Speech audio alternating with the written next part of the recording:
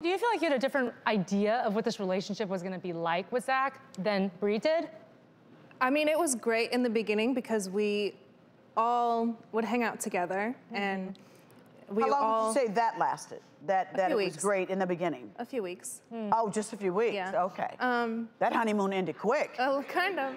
I mean, it just it felt You like got a little bit more emotionally attached to him, it sounds like. Yeah. And started getting a little more intimate with your sharing of feelings. yes. Who did he get emotionally attached to? Was there to Yeah. Chelsea. To- Yeah. Well, it sounds like it because I know that he told our producers that, you know, he would have sex with you and then he would go and sleep with Chelsea. in Chelsea's bedroom. And we all know that sleeping next to a person, that's Yeah. a vulnerable, intimate act, yeah. right? And it's like I don't want it every night because I'm kind of a person that's like, get out, you know, like I'm good now.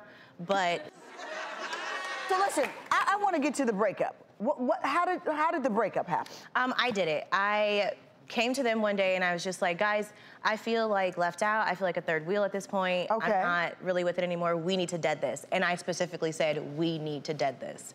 And they were just like, okay, like, you know, we'll we'll we'll talk about it like if that's how you feel. Because we've already we've always said that if one of us felt uncomfortable, then we would like all discuss it together. And then what happened? And um, we broke up, but a couple weeks later, I found out that Zach and Chelsea decided to have their own relationship and move.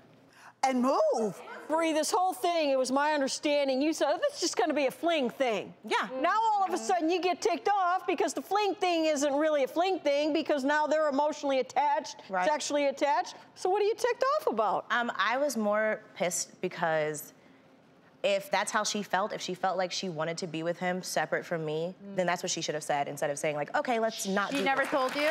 No. Chelsea, you never brought that up before moving out and let her know, like, I don't want to end it. I actually have feelings for him. I think that pride really got in the way of me communicating with her how I really felt. Yeah. And I think pride is also the reason that we haven't spoken in over a year. And Zach and I, you know, fizzled out very quickly. To Oh. So wait a minute. Neither. ne- wow. How long did it take to fizzle out? a few weeks after, um, A few months. but yeah, a few weeks. So a, fe- a, a few weeks. Yeah. What happened? The fire left. Do either one of you communicate with Zach at all? No.